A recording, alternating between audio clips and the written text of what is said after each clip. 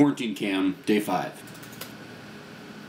I think I can confidently say that the worst part of the experience of COVID 19 was losing my sense of smell. The weirdest thing ever. And it's still gone right now. Most of all my symptoms are gone, but I legit can't smell anything. I really enjoy smelling my food before I eat it. Maybe that's weird. and I definitely thought that was weird when we first started dating. It's like all part of the experience. Would you want to eat your food in the complete dark so you can't even see your food? I can still kind of taste stuff. I mean, it'd be nice if I was like a toilet cleaner or something like that, but not cool, man. Also, what's the deal with the dry air? It's spring. The air should be getting less dry, right? Have you ever been in a class where the instructor was like, all right, this next portion is going to be breakout sessions and we're going to each get into our little groups? Well, that's what's happening, except that the teacher is the world around me, the next little time sesh is March, and the students are my face. Breakout session.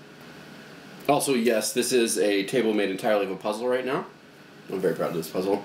Also, am I the only one shocked about how many cars there are on the road? I live by 35W and there is a constant stream. I get that there are a lot of essential jobs, but there are so many cars. Like, come look. Okay, now there's no cars. Now there's cars. See? Cars, constantly.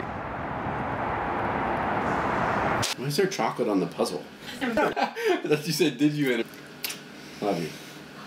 So I think if I stay fever free through the end of today, which it very much seems like I will, I think that means that's the end of my quarantine. But I still have to wait for a call from the Minnesota Department of Health, and whether or not they'll be prompt about that is.